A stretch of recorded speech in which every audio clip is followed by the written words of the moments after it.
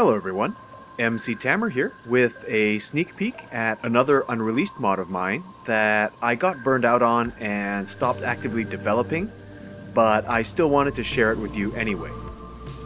A couple years ago, I started to develop an interest in the aesthetic of liminal spaces, places that exist in the transitionary threshold between destinations or between waking and dreaming. These are places that your eyes just kind of gloss over and your mind edits out, that you pass through without even noticing or forget as soon as you wake up.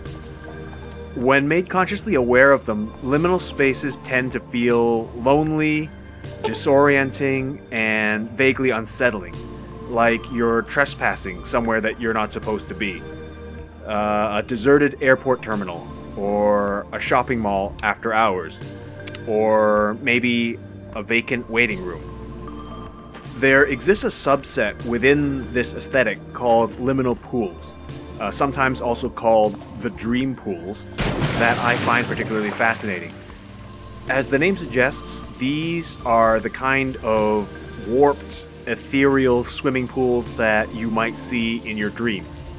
Slick white tiles, the hollow, rhythmic drip of water, sounds of distant splashing, a faint tang of chlorine in the air, and ghostly water shimmers dancing on the ceiling. With this mod, I wanted to capture that fuzzy, dreamlike feeling and turn it into a kind of puzzle game, like those Escape the Room flash games from the early 2000s. Uh, in particular, the Submachine series by uh, Matthias Skutnik. But I hit a roadblock when I realized that I suck at designing puzzles. A lot of those Flash games were pixel hunting item collectathons, which don't really translate too well into the new Vegas engine, since an activation prompt appears on your screen whenever you get near something interactive. I wanted to make a game where the player has to use their brain rather than the character finding items. Uh, but unfortunately, I'm not really clever enough to come up with good puzzles. The only one I could think of was something like in order to open a blocked door, you had to somehow use a cipher to decode the combination to a safe, which has a valve handle inside. And by attaching the valve handle to a valve, you could turn on the water, and the pressure of it would blow open the door.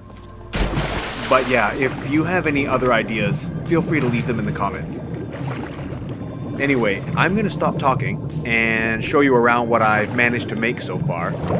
I might chime in if I have any interesting information to share, but otherwise, thank you very much for watching, and I hope you enjoy the tour.